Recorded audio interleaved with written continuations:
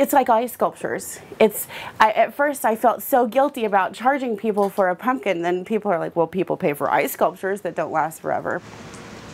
Okay. Get the basic five dollar kit from Walmart, Target, whatever.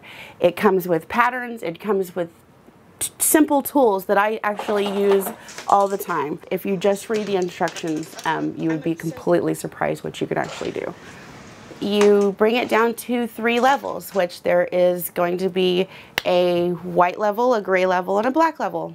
White is cut all the way through the pumpkin. The gray part is just scraped on the outside.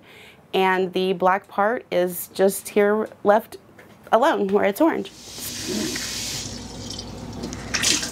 And it's fun because it's like drawing with light.